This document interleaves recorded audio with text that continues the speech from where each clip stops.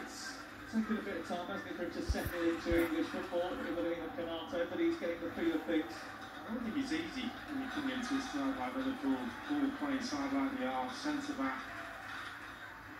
It's easy to settle in because you're on your own back there, you've got your partner, your centre back partner, to be fair. It's not a bad one if you're playing alongside Van Dijk, but you can't make too many mistakes on your back line.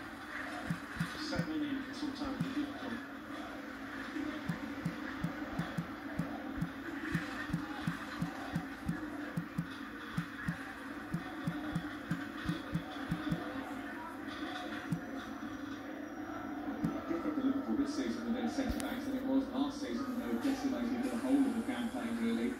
This season there's been a lot more competition for places. Someone to play alongside uh, Virgil van Dijk. His return has been a massive, massive turning point. Minamino.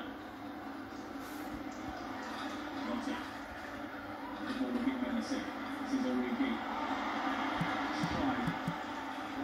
Too many, Divock Origi.